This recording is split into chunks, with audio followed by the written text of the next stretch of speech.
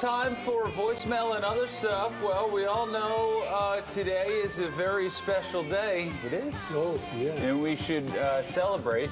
Oh, it's International Merlot Day. Yeah, it is. Which is uh, coincidentally, it's Robin's birthday. Isn't that nice that we remember a coworker's birthday? Happy birthday. You must feel so special. I- and- I do. Thank you for remembering, Peg. You're so good about that. Yeah. Gosh, it's thoughtful. Did your AARP card come in the mail yet, or are you still waiting? Came in years ago. Uh, our friends Mick and Al uh, came up with another song. Oh, no. Okay.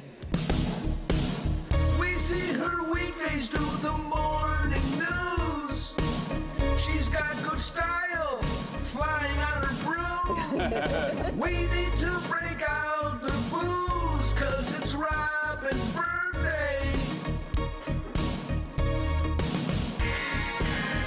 she used to do the traffic, flying in the sky.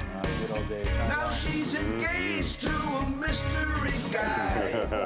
Come and drink a lot of wine, cause it's Robin's birthday.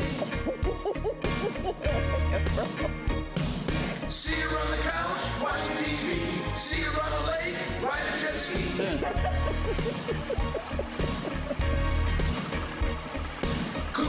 dish, dancing in the hall, rolling down the street, shopping in the mall. Let the champagne flow and spray, cause it's Robin's birthday. That's a good look. Oh, Mickey now. Wow. Thank you so much. Appreciate it. Yeah. Gosh, the birthdays get more fun the older you get. Yeah, don't they they? do. Yeah. George Washington or Elton John you were going for in that?